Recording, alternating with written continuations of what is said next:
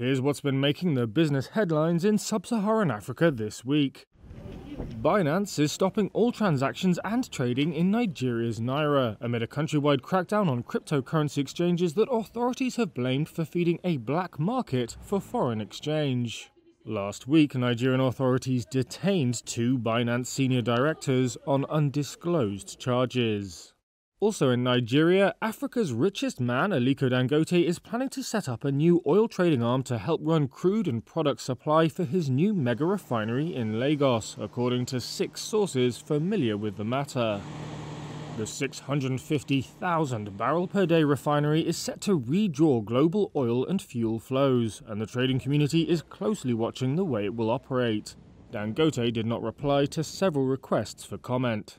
Australia's Invictus Energy is hopeful that it will conclude a production sharing agreement with the Zimbabwean government within weeks to develop its Cabora Bassa project following years of delays, a non executive director said on Thursday. Energy consultancy Wood Mackenzie has estimated that the project's Mukuyu discovery was the second largest made in sub Saharan Africa last year. Ethiopian Airlines has agreed to buy eight Boeing 777-9 wide-body jets, with potential for 12 additional aircraft orders, the company said on Tuesday.